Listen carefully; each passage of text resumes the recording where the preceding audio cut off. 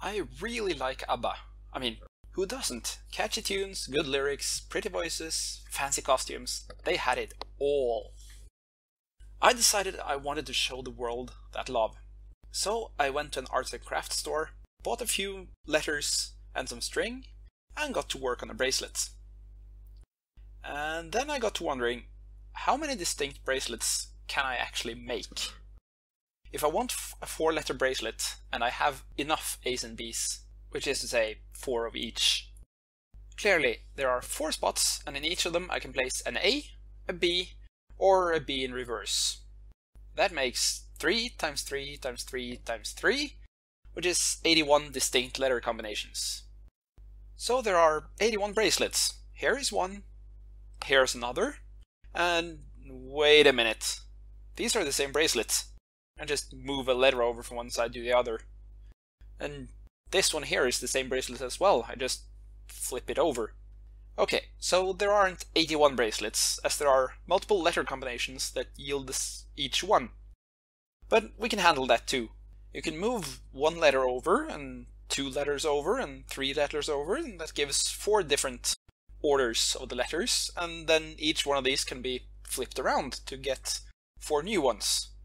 So, eight different letter combinations on the same bracelet.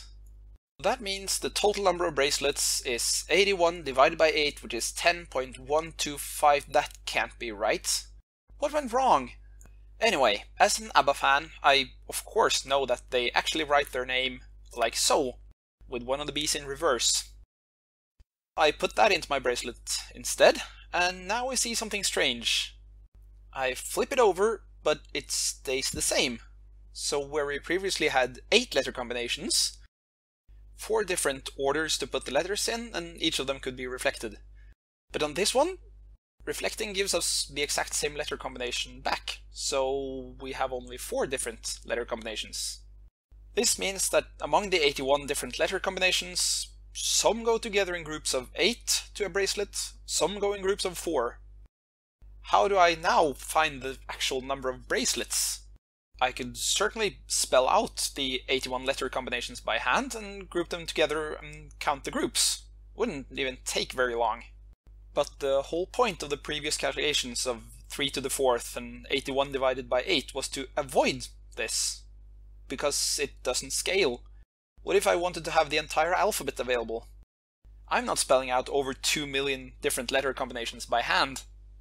So let's see if we can't glean some patterns from these bracelets for any bracelet, there are eight different ways we can twist and turn on it. We can move one letter over, we can move two letters over, we can move three letters over, or we could not do anything, which I've peeked ahead, believe me, we should count that one. And for each of these four, we can also flip the bracelet around and get four new manipulations. And we see, as these manipulations are applied to this ABBA letter combination, it results in 8 different letter combinations, and of these 8 results in the box, only one is the same as the one we started with. Then we look at the more true ABBA bracelet with one of the B's in reverse. We apply the same manipulations here. Move a letter over and also flip. Move two letters over and also flip. Move three letters over and also flip. Do nothing and also flip. This time there are four letter combinations in the box. And two of the results in the box are the letter combination we started out with. And then we have this letter combination with two B's and two reverse B's. We fill in the manipulation table the same way. Move one letter, reflect. Move two letters, reflect. Move three letters and reflect. Do nothing and reflect. There are now only two different letter combinations in the box, and the initial letter combination appears four times. And finally, we have a combination like this with only four A's. Here, no matter how we manipulate the bracelet, moving letters from one side to the other, flipping the bracelet over, we still get back the exact same letter combination we started with. So no matter which one of the eight different manipulations we do, we keep the same letter combination. So in summary, the first bracelet with the ABBA combination and no reversed B's, we had eight letter combinations and only the leave it be manipulation left a letter combination unchanged. while in the more faithful ABBA bracelet with only four letter combinations, flipping the bracelet over didn't change the letter combination at all. And for the B reverse B, B reverse B bracelets, with only two letter combinations, there are four manipulations that leave the letter combination entirely unchanged. And finally, this boring last bracelet has only a single combination, but every single one of the eight manipulations leaves the letter combination entirely unchanged. This sounds an awful lot like they always multiply together to give 8. And this is, in fact, always true. Given any letter combination, the number of letter combinations that can be reached by manipulations, which is to say the number of letter combinations in that bracelet, multiplied by the number of manipulations that do not change that letter combination, always results in 8. This is a result in its own right, but for us it's just a stepping stone. A short proof goes along these lines. There are always 8 entries in one of these boxes, as there are 8 manipulations and no letter combination appears more or less often than any other. So the number of times any given letter combination appears in the box multiplied by the number of different letter combinations in the box has to be the number of entries in the box. And with this, we're finally ready to fix what went wrong with 81 divided by 8, all the way back 5 minutes ago. Our assumption then was that each bracelet contains 8 letter combinations, but we've seen that that is not true. So instead of just taking all 81 letter combinations and dividing them by 8, we have to divide them up by how many letter combinations are in the same bracelet, and then divide by that number for each group. The total number of bracelets, here we go. The total number of bracelets is the number of letter combinations from bracelets with a single letter combination, divided by 1, plus the number of letter combinations from bracelets with two different letter combinations in them, divided by 2, plus the number of letter combinations from bracelets with 4 letter combinations in them, divided by 4, plus the number of letter combinations from bracelets with 8 letter combinations in them, divided by 8. And this is where we need that result from a minute ago. A letter combination from a bracelet with a single letter combination is a letter combination that is unchanged by 8 different manipulations. Similarly, a letter combination from a bracelet with two letter combinations in it is a letter combination that is unchanged by four different manipulations. A letter combination from a bracelet with four letter combinations in it is a letter combination that is unchanged by exactly two manipulations. And a letter combination from a bracelet with eight letter combinations in it is a letter combination that is only unchanged by the single leave it be manipulation. We're nearing the end here, I promise. One single insight left. I extract a factor of an eighth to make everything integer, and then we study what's left inside the bracket. What are these things?